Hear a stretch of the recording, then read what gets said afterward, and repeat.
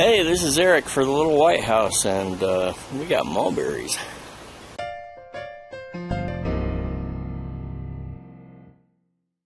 Today I wanted to uh, do a little update on the companion planting. So we're going to take you out there and we're going to go look at it.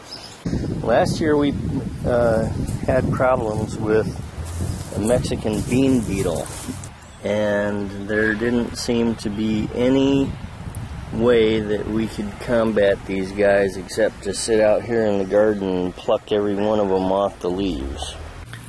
I have to say that just by looking at them, I have been really happy with the results.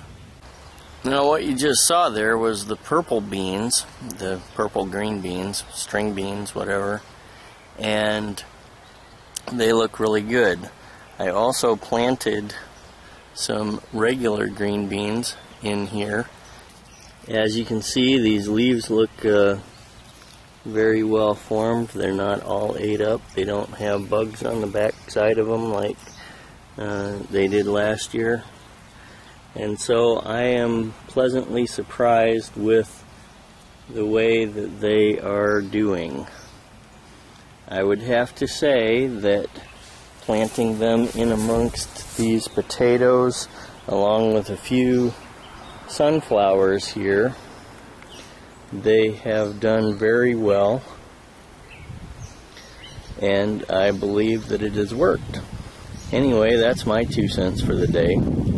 Thanks for watching. God bless, and see you next time.